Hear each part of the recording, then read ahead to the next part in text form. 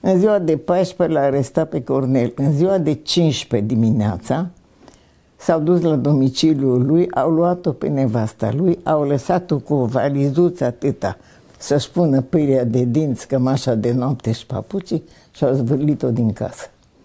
Și n-a apucat din casa lui nicio ață, o ață măcar, nimic. Nimic, nimic, nimic tot.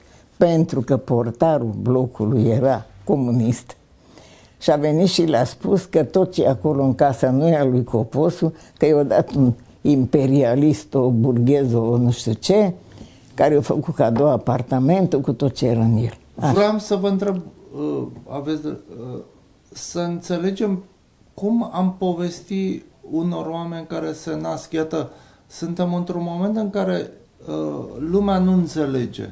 Dar nu, eu Ce nu înseamnă să te arunce cineva afară din da. casă? Ce înseamnă să te aresteze? Ce înseamnă, da.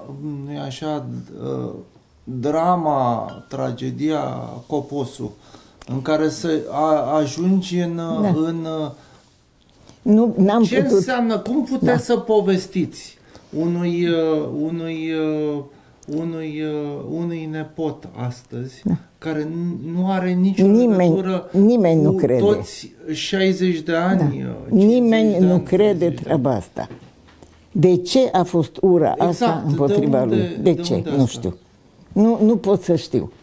S-a terminat asta cu minerii. Deci s-a întâmplat. De unde povestea. această poveste? Da. De unde această ură? Nu, n-am putut să-mi De exprim. unde acest comunism? De Uitați-vă, unde acest eu am comunism? făcut Ce înseamnă niște... comunism? Ce înseamnă comunism? Aoleu, aia știam. Aia știam și am A, lecuit știați? da, pe veci.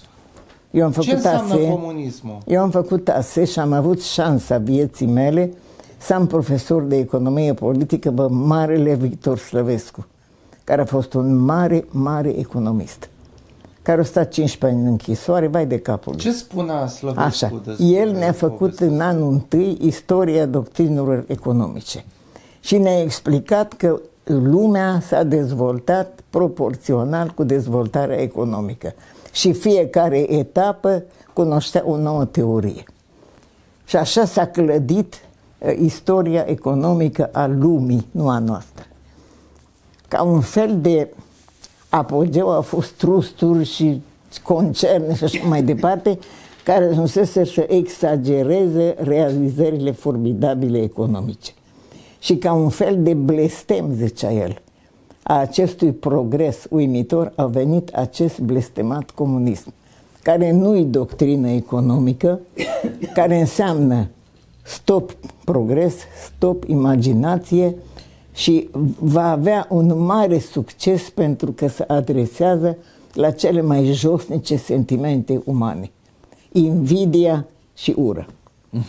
Să nu cumva să cădeți și voi în plasa asta, zicea. Dar Dar noi vom suntem în ce scăpa. an? Asta era în 47. 44.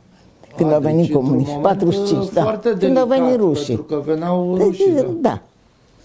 Și mi-aduc aminte că era înghesuiară la cursurile lui, toată lumea le asculta și zicea, voi sunteți o generație fericită, că după ce terminați peste patru ani veți impune economia nouă. Am impus pe naiba. Am impus de n-am mai putut.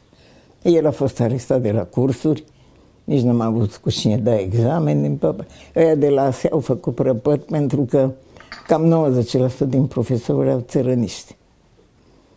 Da.